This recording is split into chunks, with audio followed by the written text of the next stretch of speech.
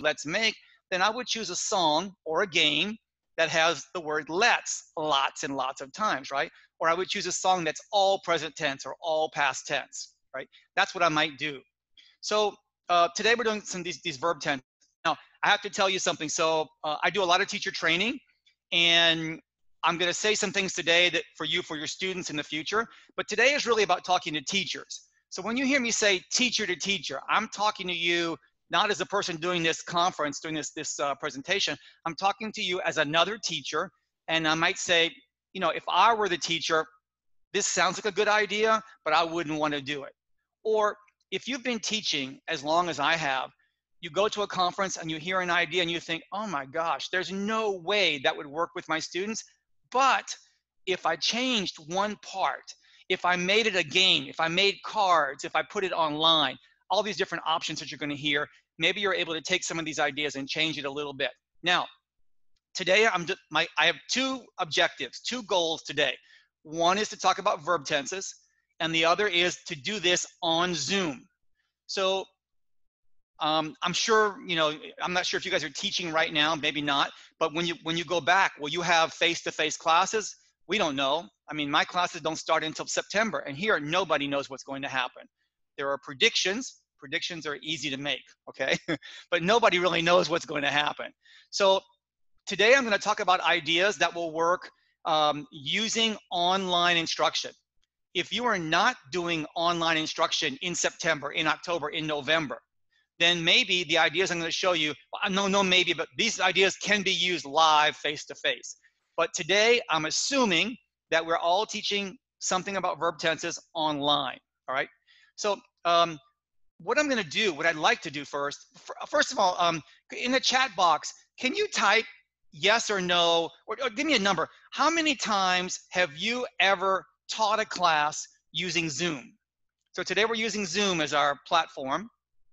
So, so I've probably taught about, I've probably taught about 30 classes. So if you could, in the chat box there, if you would, just type, type a number. How many classes have you taught using Zoom?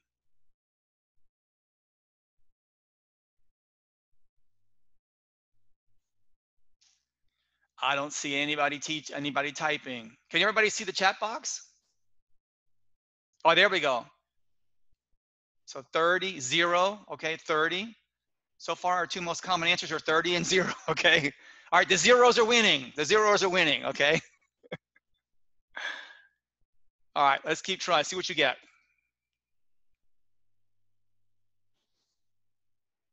All right, so what's going to happen is I'm sure a lot of people will put zero. If you had asked me this question one year ago, before the virus, one year ago, my answer for teaching a class with Zoom would be zero. All right. Now, if you think about this for a minute, um, the question I asked you was, how many classes have you taught using Zoom? So a question also we could ask is, how many classes have you been, okay, new question, everybody how many classes have you been a student in a Zoom class? Now, don't count today. I mean a, a, real class. When you were in high school, when you were in the university, did you ever have a teacher training? Not one hour, but the you know semester. Did anybody have a class where you were a student in Zoom? I suppose the answer here is going to be no. And so one of my second objective today, first objective is verb tenses. My second objective today is for you to experience Zoom as a student because it's very difficult to teach with, this is just how I feel. It's very difficult for me to teach with something effectively if I have never received it, right? So for example, if I have never, if I have never been on an airplane and you know, and you know that the flight attendant who gives you the food and the safety, if I have never been an, uh, um, a passenger on an airplane, then I, I cannot say, I want to be a flight attendant because I like that job. If I have never eaten in a restaurant, if I have never seen a server give food in a restaurant, how can I say I want to be a server in a restaurant? My point is, all of us, when you were in school from first grade until high school, 12 years, all of us, 12 years, we were studying to be a teacher indirectly. Because every day we watched one teacher or two teachers or three. I had three teachers some years. I watched three teachers teach me. And so indirectly, I learned things that teachers did that I liked and I didn't like. So today I want to show you Zoom a little bit, all right? So what I'm going to attempt to do is, let's see if we can share one of these things right now. All right, so I will try this, sorry guys. All right, let's try this one. So let's go to screen share screen. All right, put that down for a second and share screen. Bear with me, everybody. Here we go share screen, and now you can see my screen. All right, here's one, one thing I've learned. What color is my background here? You see it's very black, very gray. I mean, not, not my photo, but the background of my computer. And so one advice, one piece of advice I will give you is when you are teaching a class with Zoom or anything you're using, make sure that your computer screen, the background, is dark, as dark as possible. Now I wear glasses, right? and I don't have hair. This is shiny. If the screen is white and beautiful with a beach or sun, then there's all this light coming on my face. The only reason I'm a little bit dark right now is because the screen is dark. If the screen is white, that light is coming directly on me, all right? That's one trick. And if you wear glasses, a white screen is horrible because it reflects and there's no way, you can move your glasses a little bit, there's no way to remove that reflection, all right? But what I wanna do is I wanna go to this screen here. All right, uh, here we go. Okay, can everybody see this one? Joel, how are we doing there? Can everybody see this? It says practice with verb tenses. Thumbs up, anybody? Thumbs down? No? Okay, thank you, Pili. All right, Pili, you're the assistant today. All right, I'll just I'll just send you half my check when this is over. Okay, you take dollars. Uh, yeah, okay, good. Okay, thank you. Okay, good. okay, so what I'm doing right now is, is not something for your students. This is not for students. This is for teachers. Now in English, there are 12 verb tenses. So we have, you know, simple present, simple past, simple future, and then we have the perfect, we have past perfect, present perfect, future perfect.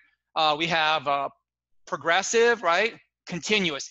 In, in, in a uh, American English, Canadian English is called present progressive, excuse me, and in British English is called present continuous. Same thing am going, right? Am eating, are doing. So there's present progressive, past progressive, and then future progressive. Then there's the combination, present, perfect, progressive, have been going.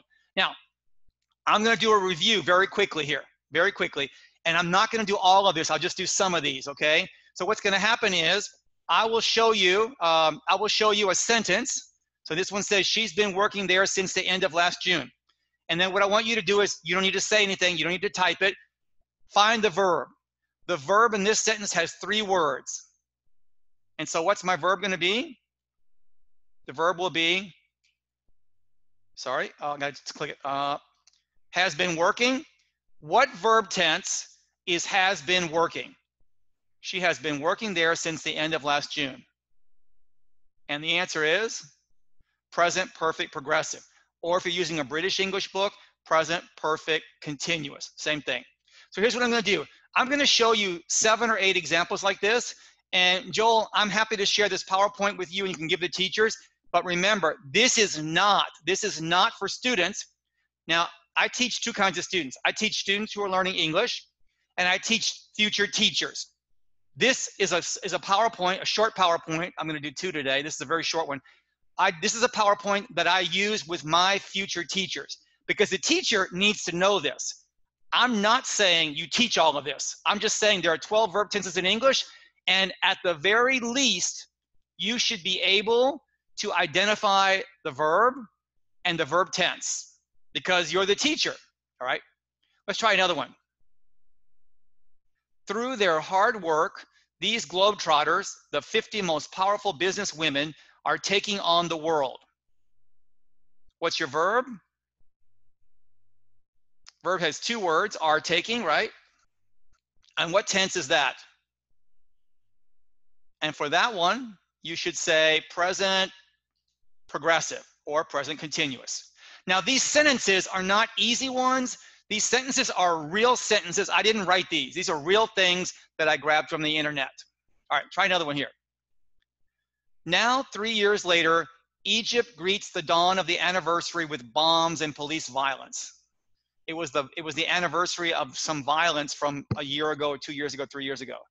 Now find the verb. This is an easy one, I think. We only had the verb only has one word. The word is greets, and the verb tense is simple present. All right, let's just do three or three more. We'll stop. I'll let you do this one. Find the verb.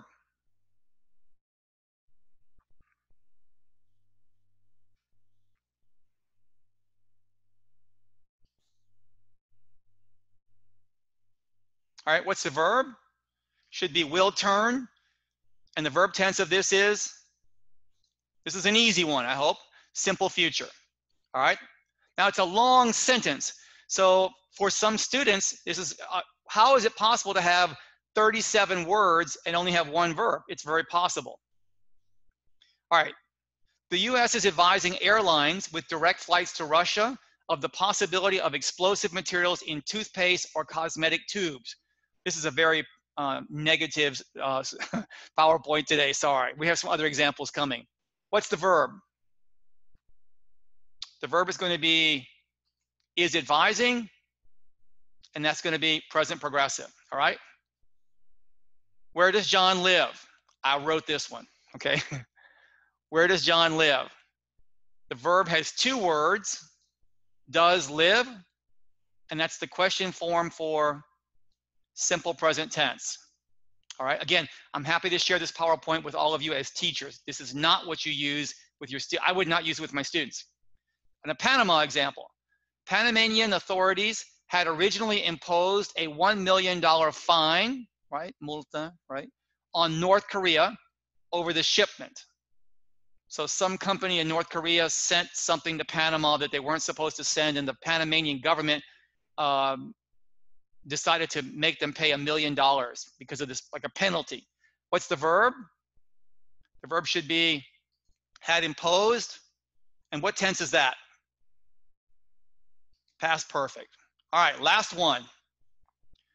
According to the TV report just now, it's snowing in downtown Los Angeles at this very moment. At this very moment means like now, now, now, super now. What's the verb? Verb has two words, not one word, two words. The verb is, it is snowing. And what verb tense is that? And that would be present progressive. Now, just to show you, there are more coming. There are many others here. And there are maybe 30 examples here. So this is something I use with teachers uh, to um, uh, if, if you like cats better than dogs, I'm sorry. It's just an example, okay? So uh, maybe, maybe cats are okay too. I don't know. Um, but the point is, uh, there are about 30 examples for he, you here to, to look at, okay?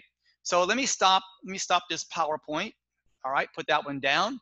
And let's go to the other PowerPoint for today. All right, and Joe, I need you to tell me if, if people are able to see this one or not. Sometimes when I change it out, it doesn't work so well. Can everybody see this one okay? Joel, is that a yes or a no? Yes, yes, we have thanks, yes. thanks, thanks, yes, okay. yes, yes, right. yes, yes, yes. Thanks, Joel. Thanks you. So, okay, everybody, here's what. There are 12 verb tenses in English. So there are two things that for a teacher. One is the teacher needs to know the tenses. You need to know two things, form and function. Form, what does it look like? And function, what do you do with this, right? So let me give you an example from Spanish. I studied Spanish, so I'm gonna learn Spanish. And I need to give me a verb in Spanish. Today's verb is gonna be hablar. Hablar means to speak in English. And I wanna learn hablar, but in present. Well, in English, how do you do it? It's easy. I speak, you speak, he speaks, she speaks, it speaks, we speak, you speak, they speak. Eight or nine possibilities, only two words. Speak, speaks. In English, it's pretty easy. You have the verb from the dictionary, like how do you say comer? Look in the dictionary, eat, that tells me eat, eat. How do you say, how do you say, um, what? Um, practicar, practicar is practice, practice, and put an S, practices. But come to Spanish. Wow, I know everybody says, oh, English is so difficult. Allow me to share my pain learning Spanish with you. So in Spanish, hablar, I speak, and then he speaks, that's it. In Spanish, for a, a non-native speaker like me, hablo, hablas, habla, hablamos, hablaron. My gosh, you got five. I'm not doing habláis. I don't do Spain because I'm not going to Spain. I'm going to Panama, going to Mexico. So there are five. So I know you think, oh my gosh, this is so difficult. And the students are saying, it's so difficult. When your students say it's so difficult, I would tell them in Spanish, let's let's look at what let's look at what English speakers have to do when they come to Spanish. You have two things to learn: speak, speaks, go, goes, eat, eats, and it's easy. Put an S. Even the irregular verb like like be is is is has an S. Has not not H A V E S H A S they all end in s for he, she, it. And in English, in Spanish, oh my gosh, you have the uh, the like like hablar y practicar. You have the ar verbs, but then you have the er verbs like comer. So comer becomes como, comes, come, comem. Oh my gosh! So I have to learn five more. And then you have the e like the uh, the e ere like like reír. And when you have the e ere, you don't use five new ones. You use the same five from the a ere verbs. Oh my gosh! So it's really, really a lot harder in Spanish to do simple present tense than in English. I tell you this only because when students say, oh my gosh, this English is really crazy. No, every language is crazy in its own unique way. So certain parts of Spanish are more difficult than English, and certain parts of English are more difficult than in Spanish. The, i agree with you 100%. But our students who are starting with English, it's difficult. They think this is some crazy language. It's so hard. Uh, it's this mystery. So I I have no problem if I'm speaking if I'm teaching all Spanish speakers or all French speakers or all Japanese speakers. I have no problem using Spanish in class to explain this situation to them. So those are the 12 verb tenses. Uh, but we're not going to talk about teaching 12 of them today because some of them are useless. So it turns out that the two most common verb tenses in English are simple present and simple past. And so, how common? Well, if you take simple present and you take simple past, and then you have the modals can go, should go, must go, right? Might go, which is seven or eight words. Simple present and simple past and the modals uh, together are 89% of every verb that comes out of your mouth in English or on a piece of paper in academic writing. So yes, there are other verb tenses that are that are a little bit common, like present progressive. In English conversation, or any, even in Spanish, progressive tenses are common in conversations because conversations are usually about what you did, what did you do for lunch today, what you're doing right now, or what you're gonna do tomorrow. We don't use will so much in English. And in Spanish, you don't use future so much. I don't hear people say, mañana iré a la tienda. No, mañana voy a ir. That's what I hear. I hear voy a. In English, the same thing. We use I'm gonna, I'm going to a lot more than will. So my point is 89% is the same as 90%. Now think about this. Nine out of every 10 verbs are simple present, simple past, or the modal, may go, uh, might go, should go, uh, must go, right? So today I chose to talk about simple past tense. And that's what I'm going to talk about in today's presentation. So simple past tense, what does it look like? What does it look like?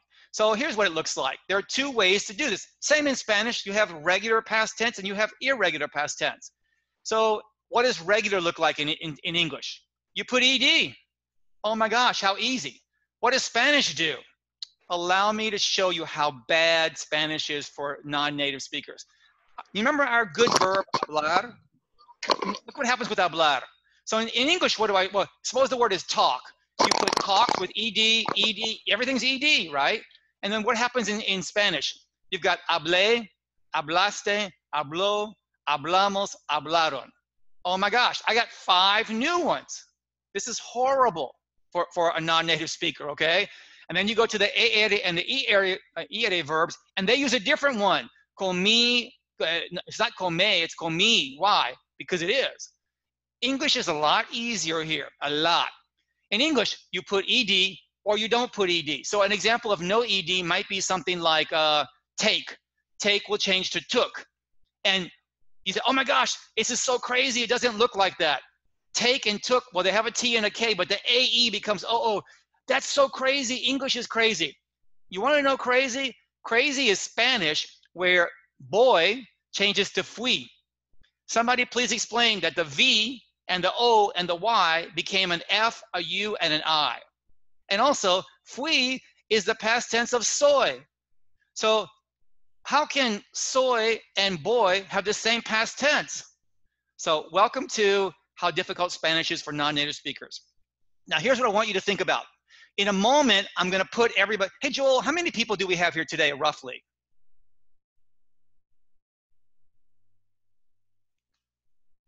Did I lose Joel? Joel, Joel, I don't, you there? Or I'll find out in a moment. Okay, so in a moment, I'm gonna put everybody, I got 28, thank you. Um, so 28, in a moment, I'm gonna put everybody in groups because I wanna demonstrate Zoom for you. So how do we have people do conversation practice? If I were teaching a class that had 28 people, I can put people in 14 pairs.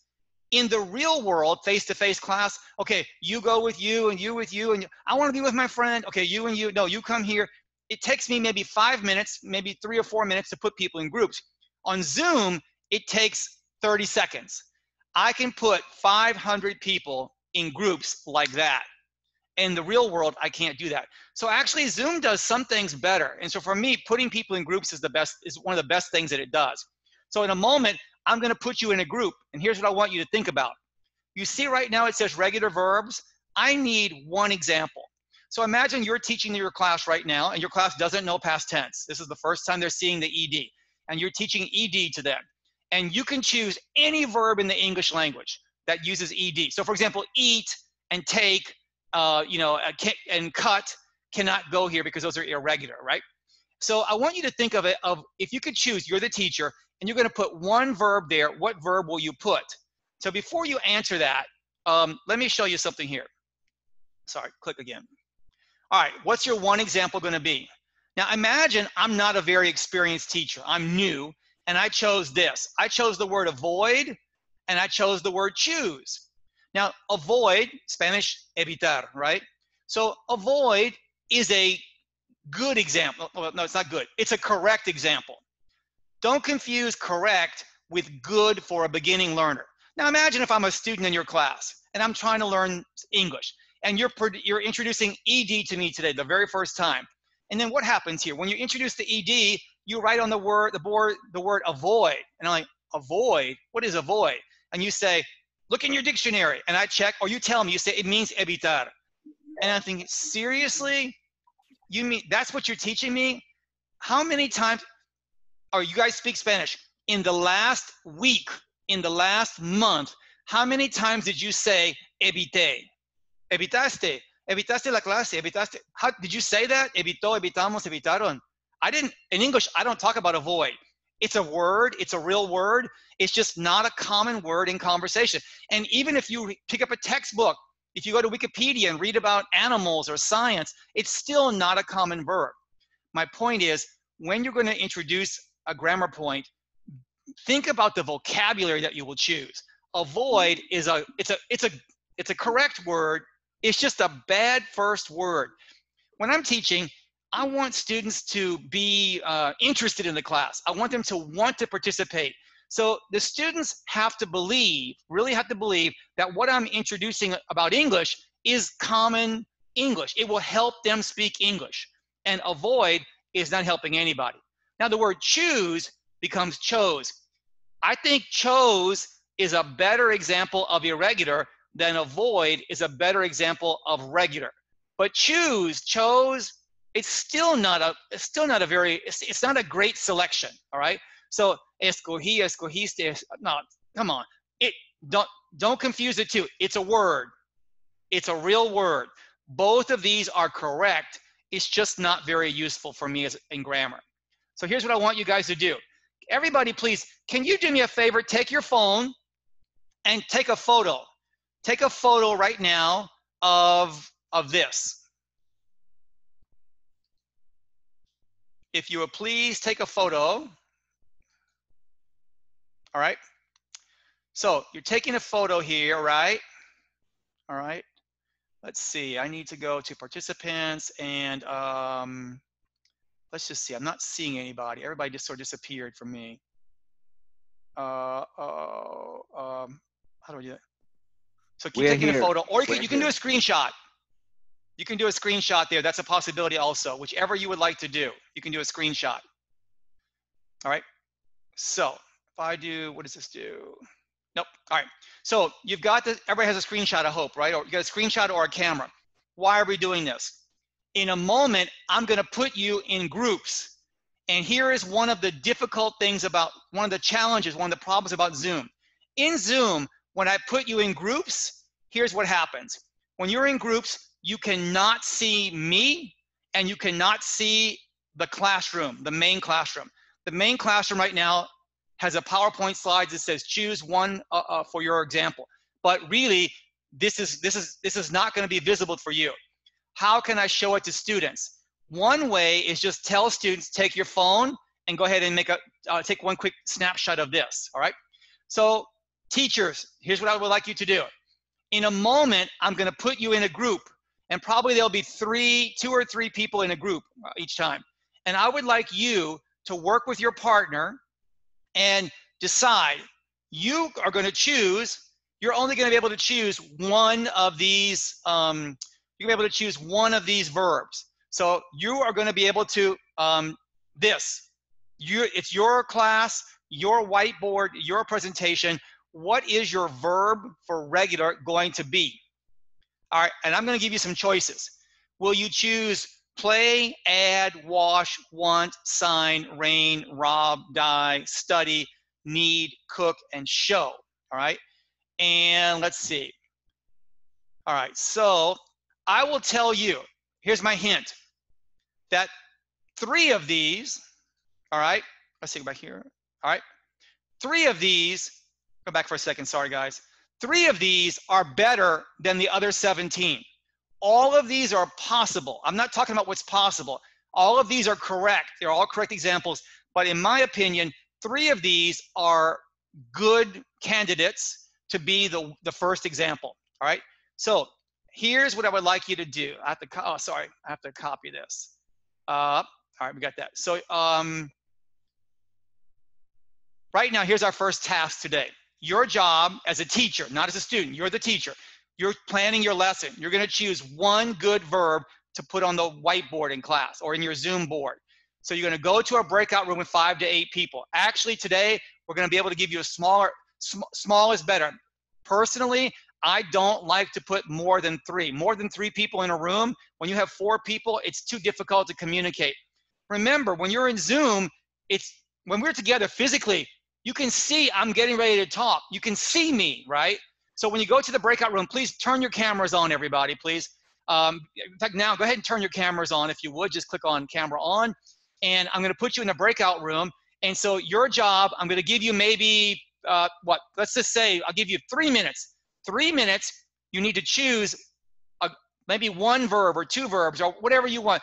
But choose verbs that are good because the vocabulary makes sense. Remember I had the word avoid, evitar, who wants to learn evitar in the Spanish class? Not me. Uh, no, I want to evitar the Spanish class. That's what I want to do. I want to evitar that teacher who's a bad teacher for presenting the word avoid on day one. I, what do I know now? Pencil, book, avoid. That's crazy. Uh, pronunciation. Try to choose a word that's easy for Panamanian students that you teach to say. So, for example, if you have the word, I don't know, word like, well, you know, speak. Speak is difficult because some students say a speak, right? Or a word like ask. Ask with the S and the K, that's a hard combination. People remember new vocabulary in the beginning by how it sounds. If the sounds are difficult, all they remember is it's some word I don't know and it's difficult to say. I don't like English class, okay? And that's the teacher's fault because you gave them the word ask on day one. Don't, no, that's a, diff, a difficult word. And then also there's no Spanish problem. So for example, sometimes people would say, I'm gonna teach the word, um, I don't know, the word uh, tomar in the Spanish class. Well, what does tomar mean? It means like sometimes it's take, sometimes it's eat, sometimes it's drink. So what do you mean? And remember, people who are beginning students of any language are not experienced learners. They all believe initially, everybody believes one word has one meaning only. You know this. You teach a word and you tell the student this word mean like the word right, R-I-G-H-T, right. You say right means um, correcto, you know, uh, razón. Okay, And what about left and right? Oh, yeah, that's uh, that's another right. Really? What about uh, the, uh, human rights, like the derechos humanos? Wow. Beginning people, beginning language learners do not like one word having multiple meanings. Now, it's a fact. Every language does this. Spanish does it, English does it, French, every language does this. One word has many meanings. But in the beginning, try to choose a word that the vocabulary is nice, the pronunciation is not hard for your students, and there's no problem because when they when the when your Panamanian student says, "What does that mean in Spanish?" and you tell them it means this, and somebody else says, "But what about what about?" If a student believes that word has three meanings, no, not going to be a good day. Not going to be a good day. All right. So here's what I'm going to do now. Here's your list one more time. Let's see. All right. There's your list. Okay. I'm going to put you guys in breakout rooms. So give you three minutes, everybody. So, Joel, here goes everybody. All right. All right. So we're going to go here to, sorry, where'd it go? More. Keith, Keith, yes. could, you, could you explain them what's going to happen that they have to join the link that you are going to sign? Oh, yes, sure. I'm so sorry. So sorry. Okay, so what's going to happen in a minute is, as soon as I can figure out where it is, I, Joel, I don't see my button right now. If you want, um, it's crazy. Where did it go? You, you have to stop uh, screen sharing. Oh, okay. All right. That's what's happening. Okay, cool. And now we got, yep, thank you. Thank you. Joel, you saved me. Thank you. Okay, Pili, I'm sorry. I have to give some of your points to Joel now, okay? Pili, so you lost some points there. Sorry. Uh, all right, I'm to put you guys in uh, 10 rooms. Let's do that really quickly.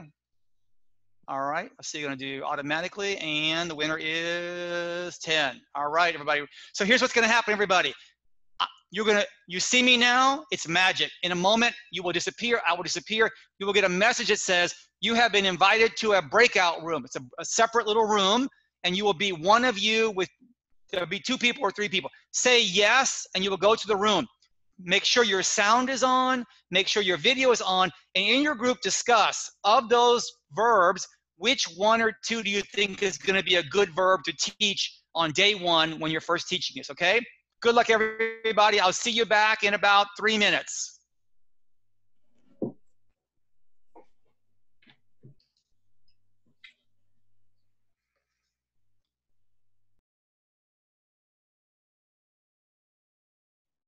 Hello, hello. Hola. How are you? Hi, Professor. Hello, how are you? Ana Celina, can you hear me? Hi. Yes. Yes. Okay, let me move this. Let me do something here. Let me move this here. Okay. Um, what verb do you think you sh we should teach? Learn. Uh, we have. Uh, did you take a picture of the of the of the presentation that he, he shared? Yes. Yes. Which one? Um, I I see the here. Let me see here. Um, Play, add, wash, want, sign, rain, rob, die, study, knit, cook, show. If I, what I understood is that we, what we have to teach is something that we use, right? It's something that we use in our daily life. That's why I, what I understand. What do you think, Selena? About the verb that I use. Hmm? About the verb that I use in my daily days. Yeah, which one? Study. Studying? Dora, what do you think? Um, study, uh, knit, Okay. So let's see, I would say um, play or study. Play or study. Okay? Okay. All right. play or so- it's something that they do in their daily life, in their, you know, in their routine, what they do. Okay, Mm, so let's see once we are back.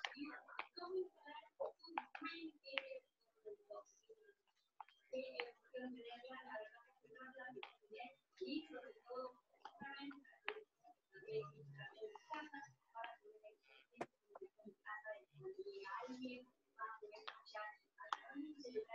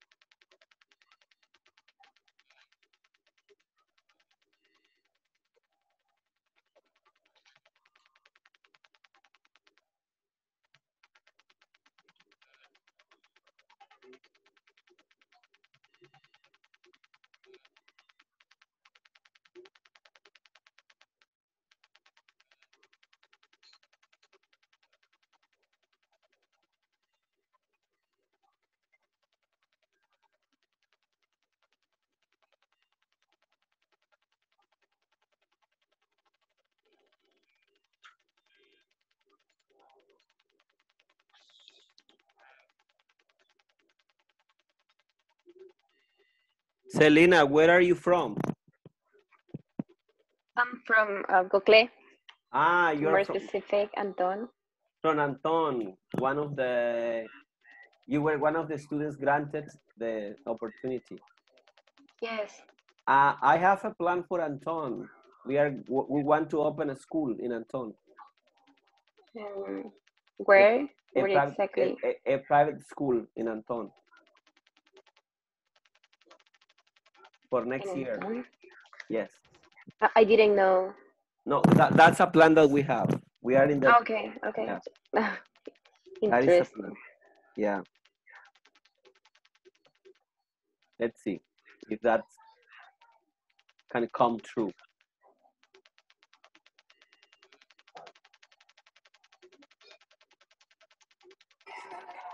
All right. Let's see. I think that in in a short time we're gonna go back to the room.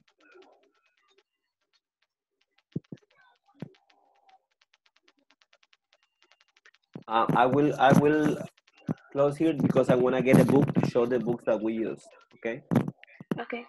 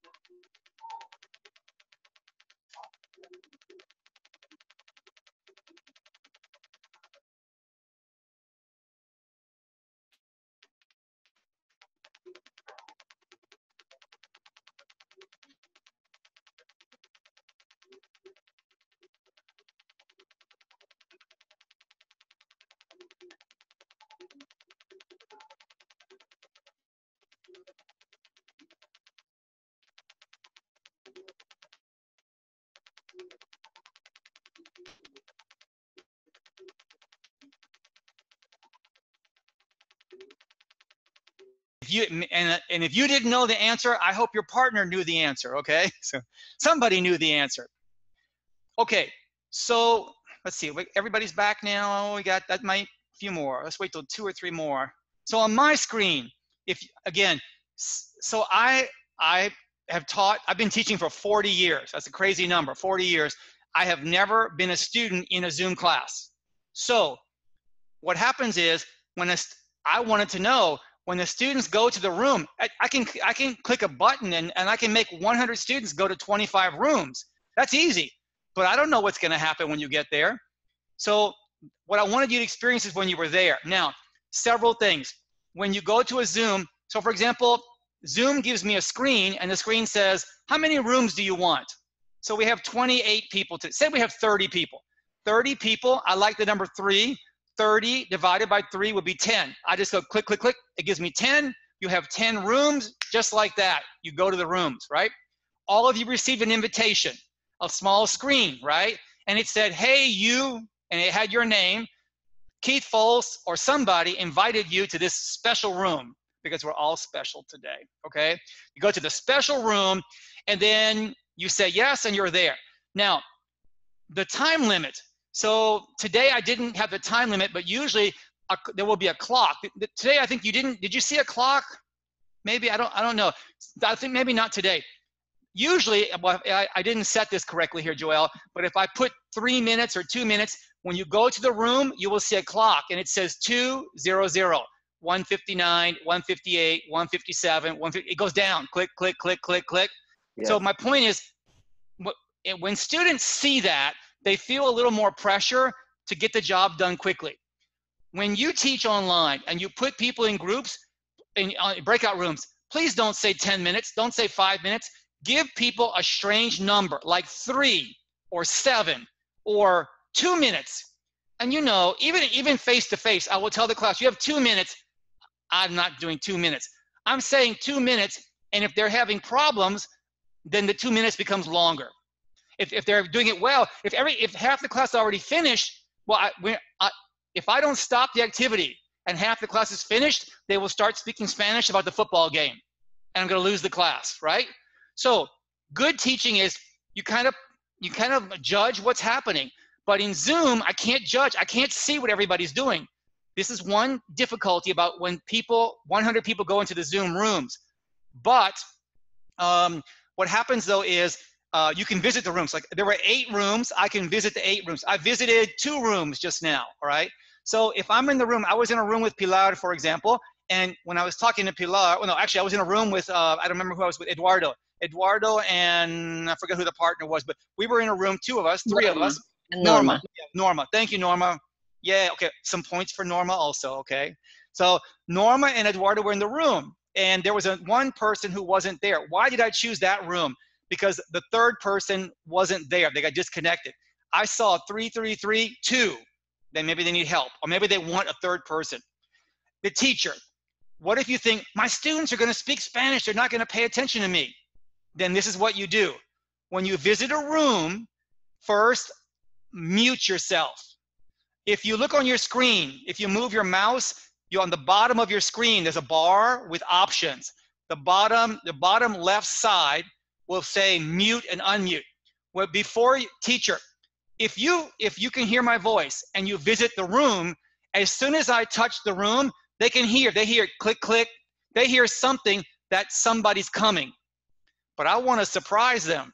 If you want to surprise them, mute your sound and then visit the room. And you can tell immediately if people are speaking Spanish or doing the English lesson. Or I have no problem if people are speaking Spanish if they're talking about the lesson right? And this is a difficult part. Again, so two things. When you put people in rooms, keep, well, three things. Keep the group small. Three. Three is, if I, if I can stay three or under, I'm happier doing that, right? Why is two difficult? Two is difficult because one person might get disconnected. If they get disconnected, then you have a lot of people who have no partner, right? Three is safe. Four is nice. I don't know, depending on what you want to do. I would never do five, never. Five is going to create chaos and five, people can just not pay attention. So three is my magic number. And then make sure people know what they're gonna do ahead of time. And then also, when you go to the breakout room, people cannot see you. They cannot see the original classroom. So what do you do? You need to tell people, take a picture of this thing, right? So let me go back and show you what I was doing here. Let me share screens again if, um, really quickly here. All right. So share screen. All right, going to the this one here. Here's my PowerPoint. So if you look at this, this one that I did, if you go back, you see how I have here, please take a photo of what's happening. All right. So there's a there's a photo of a, a man taking a photo and it says, please take a photo or a screenshot. And if your students don't speak much English, put it in Spanish or put the symbol of the photo. Your students are, you're new to Zoom, they are new to Zoom also. You're new to online, they're new to online. Don't confuse the fact that your students have a telephone and, and know how to do a lot of, uh, you know, um, electronic things because they're young. Don't confuse that with knowing how to, to be in a classroom online. Not the same thing. So take the photo. Now, what else could I do? Now, what I did, you see, can everybody see here where it has played these, can everybody see my mouse is moving? Pilar, can you see the mouse moving on the screen? Yeah, okay, all right. Why do I have these words here? Now, I can't see you and you can't see me, but I can send you a message. So what I did was, after you went to the rooms, I copied this, I just copied, and then I went to, the, to my thing and said, I can send a message to everybody. I sent a message that said those words. Now, one other possibility, if you if you know how to use Google Docs, you can use. I, am not. I'm, I know how to use Google Docs. I'm not super good with it yet. So if you know how to use Google Docs, you can create a Google Doc and then give the link. You can put the link in the chat room. So lots of ways. But for me, I like the photo. It's very safe. All right. So here's what I would do. I would say for me, the best word is the word need. I would teach need. Why? I'm gonna, okay, now, all of these are possible. Now, I know like, so uh, Pilar was, uh, so Pilar was talking about how you have kindergarten kids. Kindergarten kids can't read. So if the, if the student can't read and you say played, they will repeat played. If you say washed with a T, they'll repeat washed. But people who can read, fourth grade, elementary, and higher adults, high school students, if I ask my high school students, you see this list over here? Read this list. I will now be a Panamanian student who's learning past tense. Played, wrong. Added, correct. Washed, wanted, signed, rained, robbed, died, studied, needed, cooked, showed. Now, I mispronounced. That's, that's not correct. Which one is correct? Which one do you say? Which one looks like the way you, you read it? Number two is possible, added. Number four is possible, wanted. Number, what else? Number 10 is possible, needed. All of the others, play changes to played with a D, right? And then wash changes to wash with a T. I would choose those words. That's what I would do. I would choose needed because need, every student, if you ask any high school student to read the word needed, they will probably read it correctly, accidentally, right? accidentally. So what would the exercise look like? I want to show you one last activity today. So, um, so of course you can do something like this. The student just writes need, needed, want, wanted. This is not a, a special activity. This PowerPoint, Joel will be able to give this to you as well, all right? But um, if you don't like grammar, like you don't like, I don't want to use present and past, I don't want to use grammar labels. If you don't want to use grammar, the names, don't use it. Just call it every day and yesterday because that's what it is. So for Pilar, who's teaching, for example, um, kindergarten, kindergarten kids don't want to know present and past. They might understand every day. They might understand yesterday. Again, not how to read it. All right, now here's an activity. Find the word that is past tense. In number one, what's the past tense? So Ra raise your finger, one, two, or three. One for need, two for visited, three for repeat. Which one is past tense in number one? So in, in number one, it should be the word visited, has the ed, right? What about number two? Wanted, subtract, wait. Which one's past tense? Should be number one, wanted. In number three, waits, counted, attend. Should be number two, it has the ed. Now you might think, let me give you the answers. These are the answers. You might think this is really easy. It's easy for you, it's easy for me because we know English. But to a person who's just beginning with English, I'm trying to teach my students not to say it, not to produce it, just recognize it. That's all. Can you just recognize it? All right. So here's an activity for you. Joel, I don't know if we have time. Uh, can, if, can, if people can, because we started late, if people can stay like 10 extra minutes, is that possible? I know some people might have to go. Joel, what do you think? Yeah, we we we could continue uh, 15 more minutes. Okay, okay, I'll try. I'm sorry, everybody, but, but Zoom Zoom was not my friend today. Okay, so here's what everybody everybody knows blue jeans. So I want you to imagine I'm teaching this class to high school students. I didn't know today if you're elementary or middle school or high school, uh, middle school or high school or adults, you know jeans. So everybody, I'm going to give you a test about jeans. The test is going to have three questions. I want to see if Pilar or Anna or Eduardo or Norma, who can get 100% on today's exam about blue jeans. Good luck, everybody. All right, so here's what I'd like you to do. You have a sheet of paper, you have a small piece of paper, everybody? Just make a note.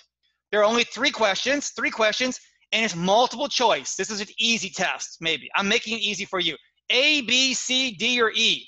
Three questions, five choices about blue jeans. Nobody use Google, all right, to check the answer. And I'm going to go quickly so you can't use Google. Question number one about blue jeans. Now, are you ready? Why do I have, all right, this is teacher to teacher. You see, I have the blue jeans. And I don't, I'm the teacher. I'm talking to you as a future teacher or a real teacher using this.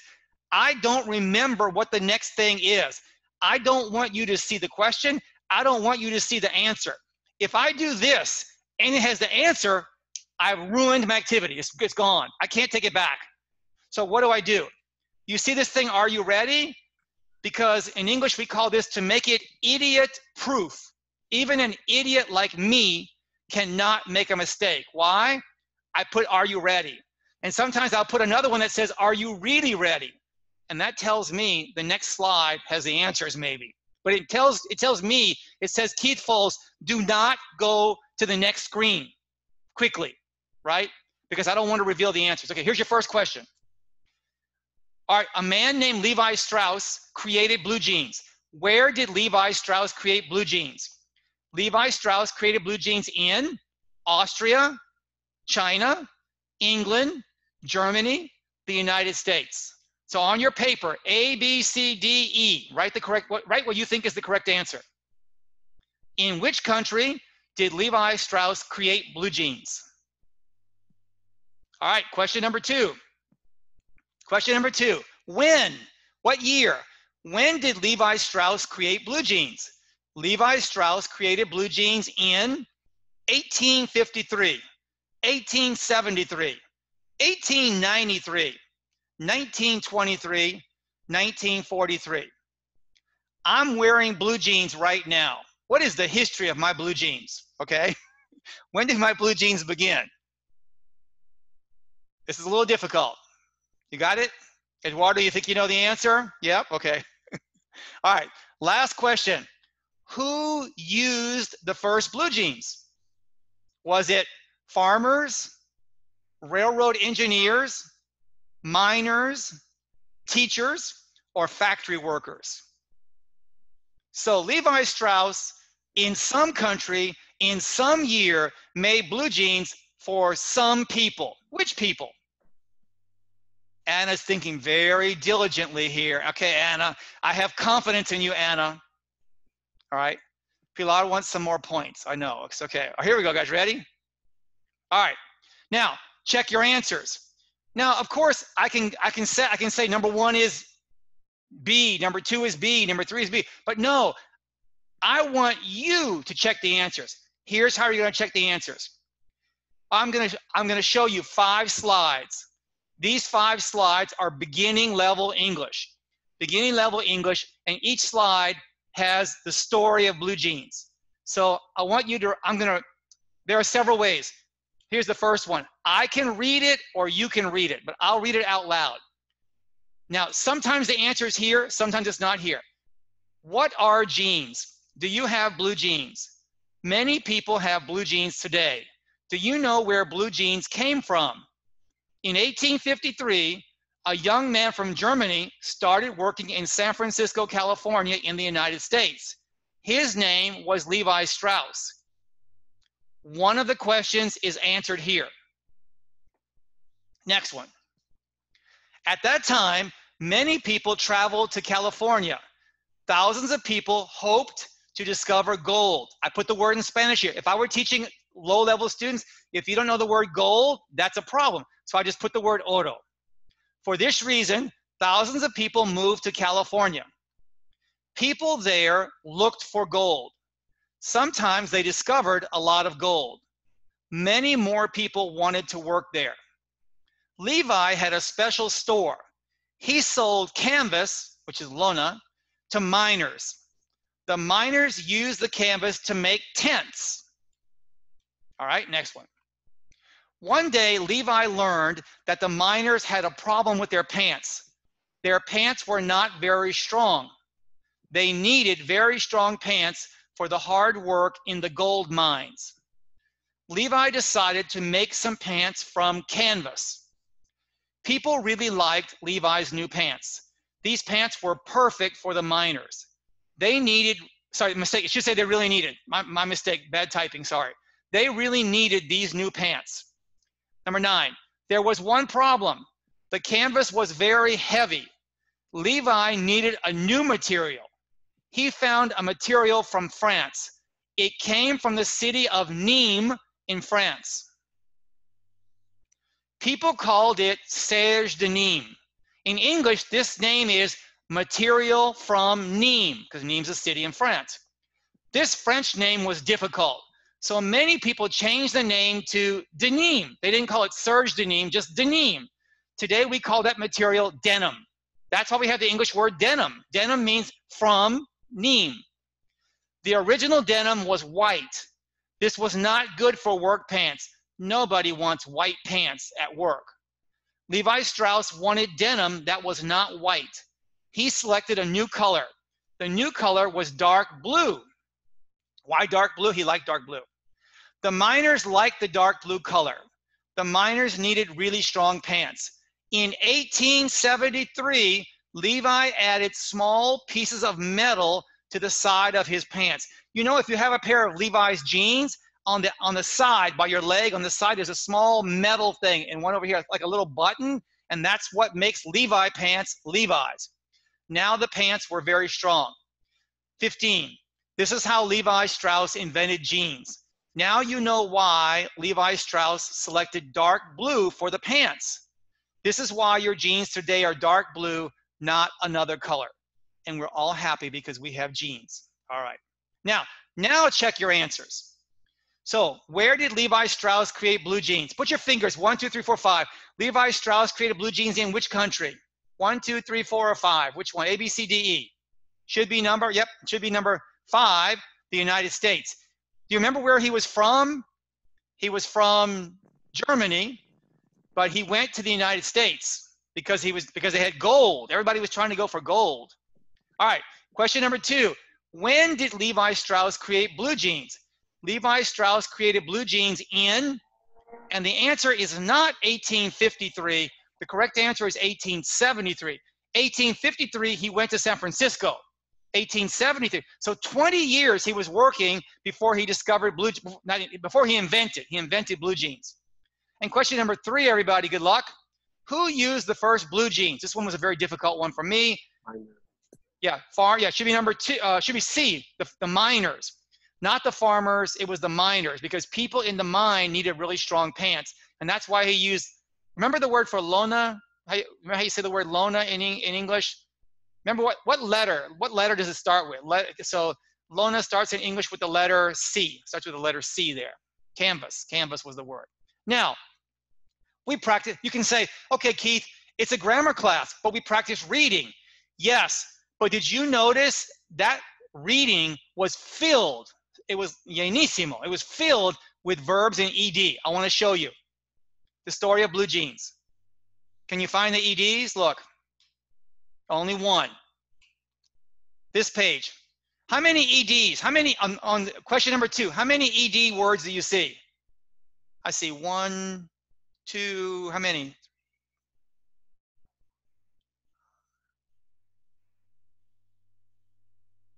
I think seven. You find seven also maybe? One, two, three, four, five, six, seven. So I'm going very quickly now because I I we're past the time. But with my students, I would do this much more slowly, much more sl- slowly, and I would tell them. For example, I would tell my students, find seven, find seven. Tell your students the number. All right, because when people know the number, they know they know what to look for. Because if I think there are three, I find three and I stop. No, no, not three. And I ask them, how many did you find? I found three. I found four. Nope. Keep keep looking. Keep looking. All right, let's try another one. How many can you find here? Just find the ed.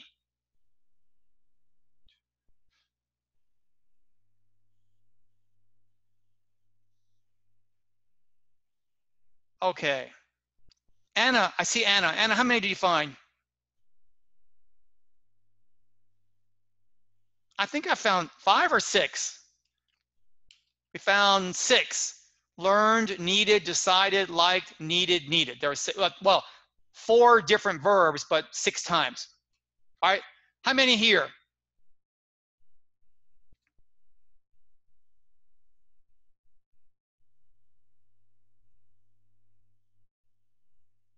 You guys, anybody find four? Or you find five? Let's see what the answer, we have four, all right? And last one, last one here. So how many, you tell me the answer. So one.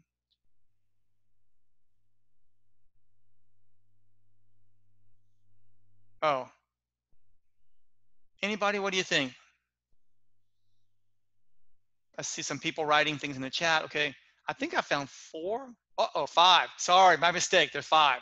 Liked, needed, added, invented, selected. Now, let me say this. I am not, think about this. Before I ask any students to produce something, I just maybe want them to try to recognize it. Can you? This is not a hard task. If you have eyes and you know the letter E and the D, you can find these. So students who don't know past tense so well yet, can do this activity. And also as a teacher, I'm telling you, teacher to teacher, I wrote this story and I'm giving the PowerPoint to Joel and you, you're happy, you're welcome to use the story. Um, change it, make it harder, make it easier, whatever you want to do. But um, if I create an activity, I don't want to use it one time. I want to use it two times or three times. So I can use this for grammar. I can use it for listening. How would I do for listening? Listening would be I would go back and I would say, okay, here's number four. I say, okay, now listen, I'm going to read number five. And I would read number five. Okay, what did you hear? And then show you number five. So you can do listening, you can do reading, you can do many things here. All right. So one problem is pronunciation. So for Spanish speaking students, this pronunciation is really difficult. Watch becomes watch it. You know, people say watch it, but it's not watch it, it's watched, right? Watched. So how are we going to deal with this? So of these verbs here, some of them have d like sneezed, some have a t like mm-hmm. coughed, and mm-hmm. some have an id like added. And if this is an activity you can do with your students, here are six verbs, uh, sorry, sorry, 12 verbs, and have the students decide which ones are blue, which ones are red, which ones are green. Now, I will ask you, teacher to teacher, how many of these should be green? How many of these actually are pronounced id? If I'm a Spanish speaking student, tell me how many do I have correct now? Robid, cooked, arrived, wished, subtracted, snowed, chopped, graded, reviewed, bragged, persuaded, sighed. Sayed is um, uh, hacer un suspiro, I think is what it's called. But um, anyway, the point is, of those 12, I think only Two are correct, maybe? Which ones are correct? Let's see which ones are green. Three, three, sorry. Subtracted, graded, and persuaded. All right, I do want to share with you this. Here's the answers that we have here, and how will you teach this to your students? Here's the rule. Now, some of you know a rule about voiced and voiceless sounds, and that's good for you to know as the teacher, but I don't, I usually don't talk about voiced and voiceless with my students because students don't want to know about voiced and voiceless. There's an easier way. For me, this is the easier, easier way. If it ends in a d or a t already, like add, added, subtract, subtracted, all right? If it ends in s, f, like missed, laughed, uh, clapped, kicked, watched, and washed, and all the others take a d sound. I know I did this very quickly here, so I know we're short on time, but my point is there, there's this, to me, this is a much easier way to do this. Now, Pilar, Pili, and others were in teaching kindergarten. In kindergarten, what do you do? Find songs, middle school, find songs that have ED a lot in them. Students might want to sing the song that has the ED in it. So where is this information? So Joel mentioned earlier about I've written all these textbooks. Today I want to just, I'm going to end the, in today's talk by uh, two different books of mine. One is called The Grammar Answer Key, and Joel, Joel, Joel has a copy of this. He can get a copy for you if you want to get a copy. It's 100 questions uh, that students ask or 100 mistakes that students make plus very simple explanations, okay? There's that one. And then I also recently, I have a new book. And Joel, this book is not, this is only online. So it, Okay. this is a different one. Um, but if you wanna, if you wanna know about grammar, about pronunciation, teaching vocabulary at all levels, the Grammar Answer Keys are really a book, a good book to get. And then the Zoom book is something new. In fact, I haven't yet, I don't, Joel, I think you didn't even know about this book yet, maybe. But I wrote a book about Zoom because the Zoom books are not for teachers. They're for business people. And they talked about clients and sales, sales meetings. I don't go to sales meetings. I don't have clients. I have students who are in a classroom. So I'm sorry I used up all the time, okay? but I'll leave this up here. If anybody has some questions you want to ask and you can stay, I know it's we're past the time already, but I'm happy to stay if anybody wants to ask a question. Joel, it's all yours. Sorry. Right. Okay. Let's see if we have questions. Please open your mic. Let's see if we have uh, three to four questions. And I also want to share that we also have uh, you have this book that is is a key. Do you see this? Yeah. Uh, there, that's yeah. the, the the red one. Yep. This is the one that for me is the Bible for teaching grammar. I love it. So if there is any question, this is keys to teaching grammar to English language learners. It has students book and a workbook and the the the the, the practical handbook. So if there is any question, please let us know. Please open. Uh, we are going to share with you because it's been recorded and we're going Yeah. to share with you the PowerPoint and the, the recording. Uh, send an email, uh, or probably we will have your email registration here. Uh, or if not, please send an email to. Um, um, I, let me type here. Asistente, asistente. Dot let's at Gmail Panama. Yeah. So any question? Any question? You have any question? Any question for Keith? Keith, I wanted to ask you a question. Um, Yep. Questions, yeah. What is your suggestion in order to, you know, for for elementary students and high school students?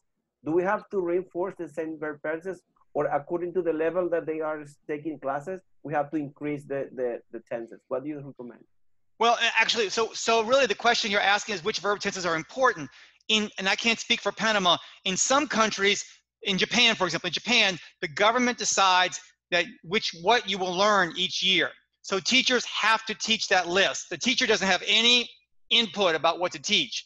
So um, in Japan, it's a different question. But in Panama, if you can choose, I would really focus. For me, I like grammar. I love grammar. I like vocabulary more if I could choose between the two, how can we combine those two? So I would not worry about the 12 verb tenses. Some of those verb tenses we almost never, just same in Spanish, like, uh, uh, um, um, what, uh, uh, habré estado comiendo cuando llegas. Who talks like that, right? It's a verb tense. But please don't confuse the fact that the verb tense exists with the fact that we should teach it or not teach it. I would never teach that to anybody. So what I would say is concentrate on simple present tense, simple past tense, the modals can, could, should, may, might, must, and then two others. I would do present uh, uh, progressive. It is raining now. I am talking to you now. And then also present perfect. I have eaten lunch already. I have talked to you many times. I would I would concentrate actually really on those four tenses plus the modals because that's the most common. Um, and then instead of teaching more grammar about more verb tenses, I would concentrate on helping students learn more verbs, more vocabulary. Like how do you say evitar? how do you say practicar? How do you say, you know, whatever it is, you know, durar, to last, right? How do you say these things? So I would concentrate on more on vocabulary. That's what, and and I would stop trying to teach all those verb tenses when we don't need that. All right.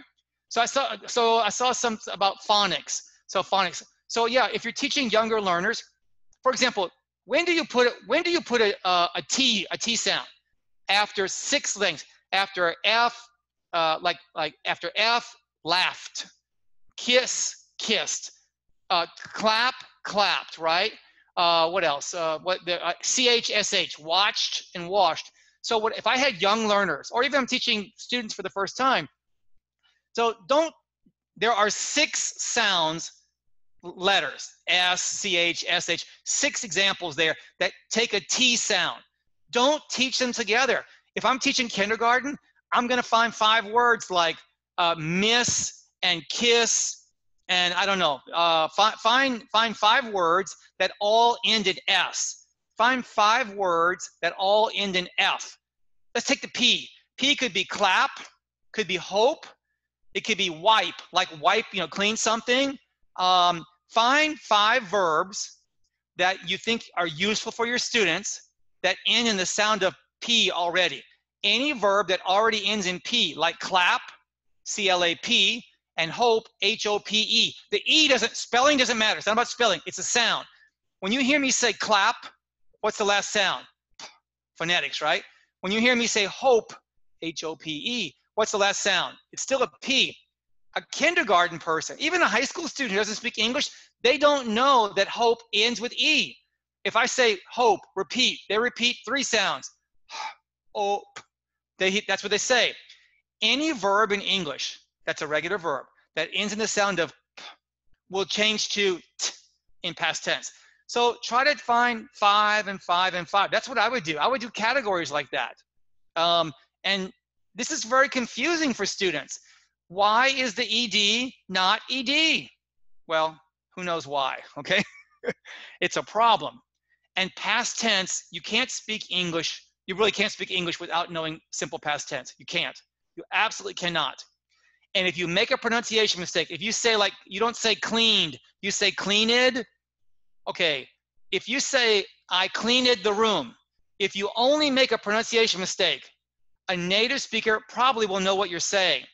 But if you make a pronunciation mistake and at the same time you make a grammar mistake, for example, I, um, um, there was a, a, dirty, a dirty, dirty table. Uh, say the word is wash. I washed I washed the dirty table. I washed the dirty table. But I say, and I don't pronounce the SH. I, am a Spanish speaker. I say watch it.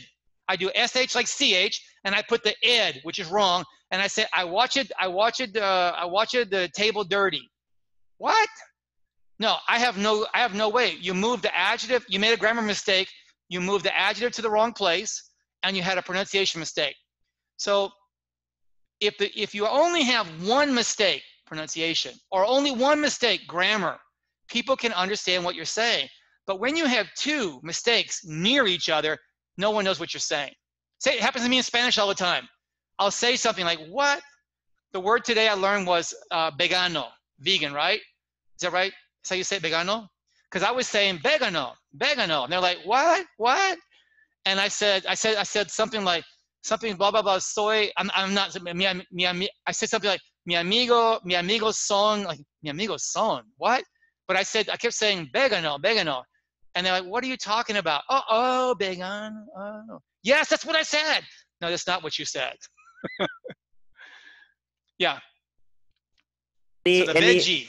eh, Cool. any, any other question? Any other question for Kit? Um, you can open your mic. Yeah. Any other question, or you can type here in the box. In the, in the Lord, chat. Lord, I saw Lord, Lourdes, thank you. I agree, Lourdes. This is, you probably you want to go back and study this a little bit um, because today we did a lot. So we did, we did verb tenses in general a little bit. We did uh, simple past tense, not the irregular. We just did regular. We didn't talk about irregular.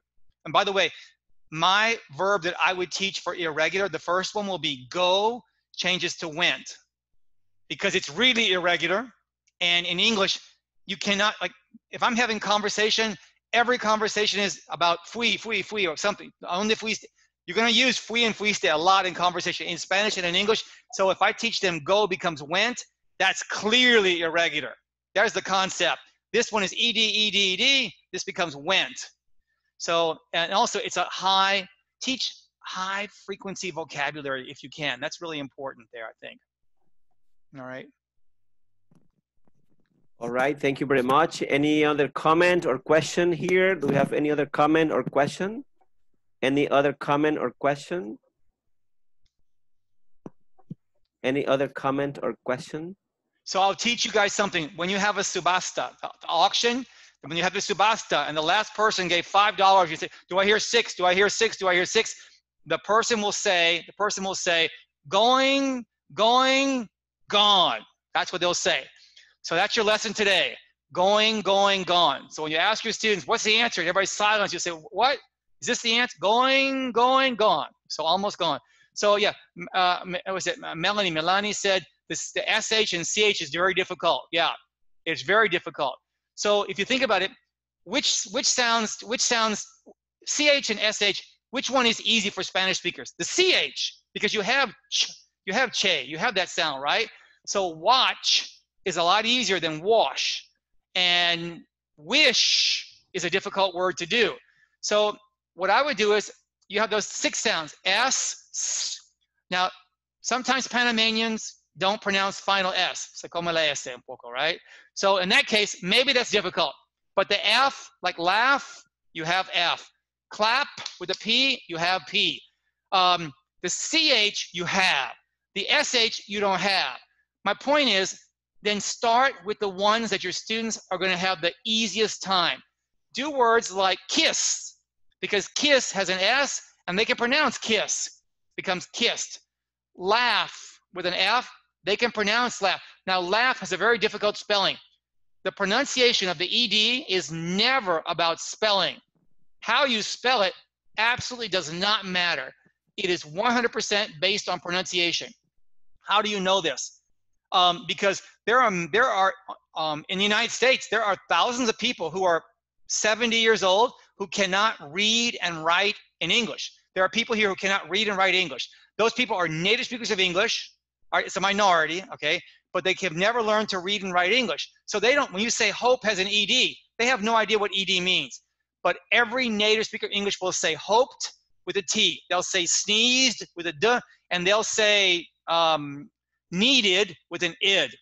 Every native speaker gets this correct because it's based on sound, a system that's in your head. It's not spelling. Children who are five years old, they're, the, every child knows the word play. If you go to a kindergarten in the United States, you ask the, the child, what did you do yesterday? That child will say, I played with Maria. I played with Maria. We played basketball, played. No five-year-old child who speaks English will say played. But every adult will say played who's learning English, right? Um, because you see the ED, it's logical. It's sound. So if it ends in s, like miss or kiss, it takes a T. All right. There is one last question here is what do you suggest what do you suggest to teacher make students speak? What ideas or suggestions you give to teachers to, you know, to, to use grammar in a speaking activity or uh, make them speak? Okay, so a speaking activity. So what the question is why? Why would a student talk? Also, how can you make students talk? There are two ways. You can say, do this, or I'm going to be angry. Do this, or you lose points. That's, that's possible, okay? And we, we have all had difficult classes where you have to do that. But you're in Zoom now. In Zoom, I don't see everybody. I can't, I can't, I can only be in one breakout room at a time. So my suggestion would be very strongly, give students a specific task, specific task. I'll give you an example here. All right, let's see. Um, Okay, the jeans, the jeans. So that was a good example. I, everybody knows what blue jeans are. Give the students the three questions and ask them, the, no story, give them the questions. And your job is, I'm gonna give you seven minutes. Well, you know what? Um, but then they might Google it. If, but if they Google it, they have to know the answer at some point. So have good students, you have seven minutes to find the answer to these questions. Or here's one, uh, put people in groups and I'll say, all right, um, in South America, can you tell me the six, uh, what are this, which, what are the six, or three, what are the three countries in South America, or all of Latin America? What are the three countries in Latin America that have the most population? What do you think they are? What are the three, you know, what do you what what are the three countries in all of Latin America that have the highest population? Highest population.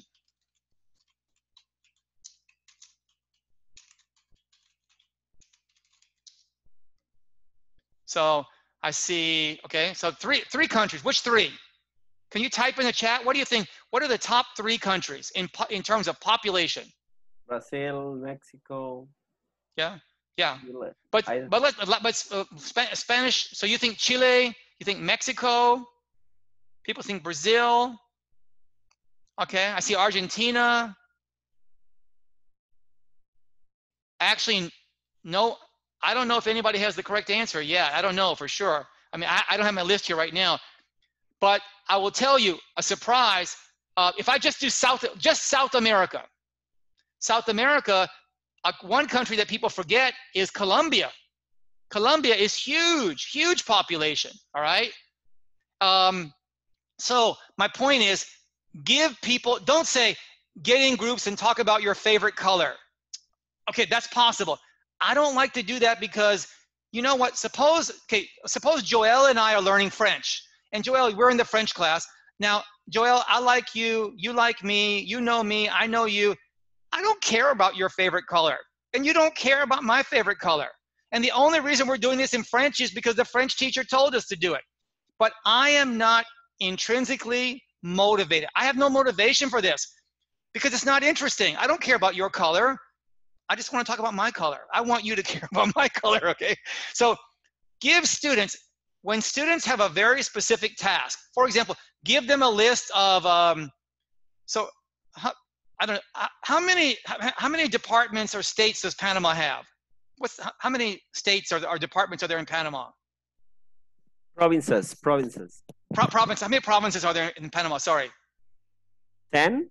10 I could 10 if there i don't know so if there are 10 then give the students a list of the 10 and say okay i'm going to give you two minutes work in three students in groups and i will say of these of the 10 which which three or say, say this there are the 10 which two have the most people and which two have the smallest population? Which two have the largest population? Which two have the smallest population? Ready set go. Go to rooms two minutes. When people have a specific thing to solve, now what's the grammar? The grammar practicing is smallest, EST, largest, EST. You're practicing EST, right? Um, so you so for, suppose for example we're doing countries and uh, Joel, you say I think I think Ecuador is, an, is the answer, and I say I don't know. I think Peru isn't. Actually, Peru has a lot of people also. I think Peru is the answer. And then, so, and then, so maybe like, and maybe Gloria Beth says, I think Chile is the answer.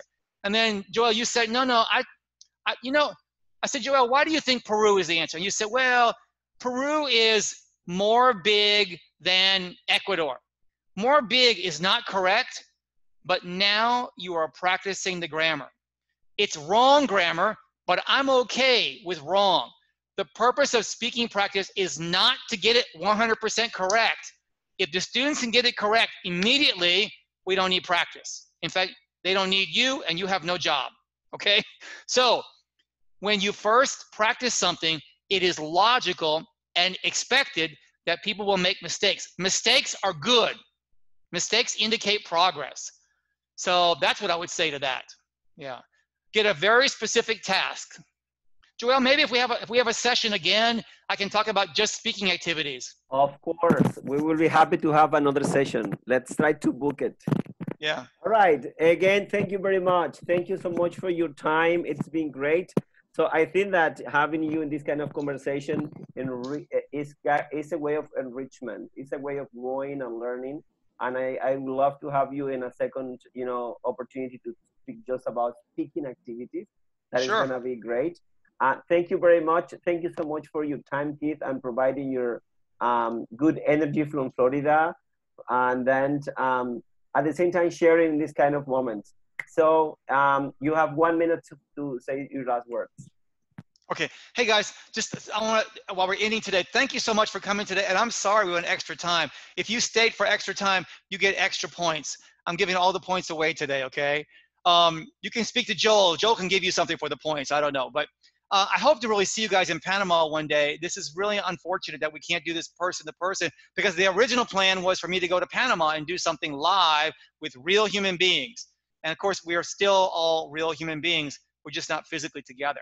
So I know that you're teaching right now. This is a very challenging time for everybody. It's challenging for your students. It's challenging for their parents, uh, for their family. It's also challenging for teachers. Teachers are real people. We have families also.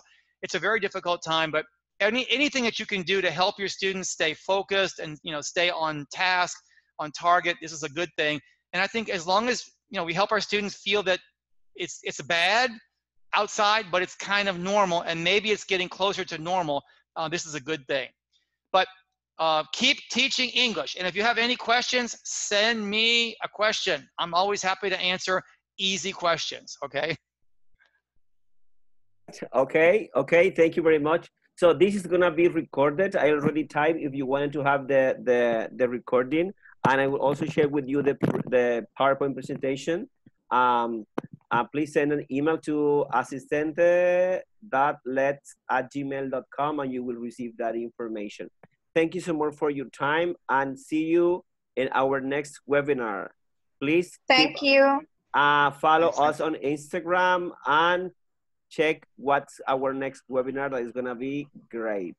Keith, again, thank you so much. Thanks, guys. Greetings, greetings from Panama and see you next okay. time. I'll see you in Bye-bye. Florida, guys, someday, okay? All right. Thank you, guys. Okay. See you guys. Bye-bye. Bye-bye. Okay. See you. Thank you. Bye bye. Thanks, guys. Thanks. Thank you. Thank you. Thank you.